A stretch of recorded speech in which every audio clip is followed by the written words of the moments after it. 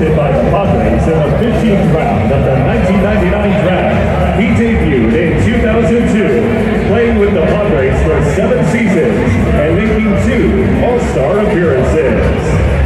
In 2007, he delivered one of the finest pitching seasons in Padres history, going 19 6 with a 254 ERA and leading the league in ERA, strikeouts, and wins, which culminated with We on July 28th when we celebrate his much-deserved induction into the Padres Hall of Fame. Please welcome number 24, Padres legend, Davis.